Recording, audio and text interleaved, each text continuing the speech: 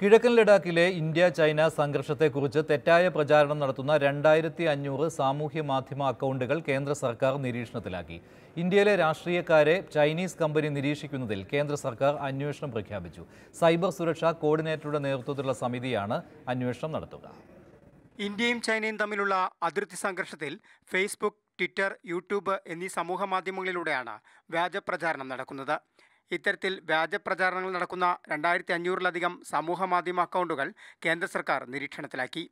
ഭൂരിഭാഗം അക്കൗണ്ടുകളുടെയും I P address പാകിസ്ഥാനിലാണ്. ഇതിനു പുറമെ Hong Kong Russia China U K എന്നിവിടങ്ങളിലും ഐ പി വിലാസം കണ്ടെത്തി. ചില അക്കൗണ്ടുകൾ ബ്ലോക്ക് ചെയ്തെങ്കിലും ഇവ മറ്റു പേരുകളിൽ സജീവമായി. ഇതോടെയാണ് നിരീക്ഷണം ശക്തമാക്കിയത്.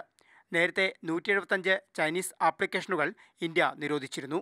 അതേസമയം ഇന്ത്യയിലെ രാഷ്ട്രപതിയും പ്രധാനമന്ത്രിയും ഉൾപ്പെടെ പതിനായിരത്തോളം നേതാക്കളെ ചൈനീസ് കമ്പനി നിരീക്ഷിക്കുന്നതിൽ കേന്ദ്ര സർക്കാർ അന്വേഷണം പ്രഖ്യാപിച്ചു. കെ സി വേണുഗോപാൽ എം പിയുടെ ചോദ്യത്തിനുള്ള മറുപടിയിലാണ് വിദേശകാര്യ മന്ത്രാലയം അന്വേഷണം പ്രഖ്യാപിച്ച വിവരം അറിയിച്ചത്. കേന്ദ്ര സൈബർ സുരക്ഷാ കോർഡിനേറ്ററുടെ നേതൃത്വത്തിലുള്ള സമിതിക്കാണ് അന്വേഷണ ചുമതല. മുപ്പത് ദിവസത്തിനുള്ളിൽ അന്വേഷണ റിപ്പോർട്ട് സമർപ്പിക്കണം. വിഷയത്തിൽ ഡൽഹിയിലെ ചൈനീസ് അംബാസിഡറെ വിളിച്ചു വരുത്തി ഇന്ത്യ വിശദീകരണം തേടിയിരുന്നു. എന്നാൽ സ്വകാര്യ ഏജൻസികളെ നിരീക്ഷണ ചുമതല ഏൽപ്പിച്ചിട്ടില്ലെന്നാണ് ചൈനീസ് നിലപാട്. മാതൃഭൂമി ന്യൂസ് ഡൽഹി.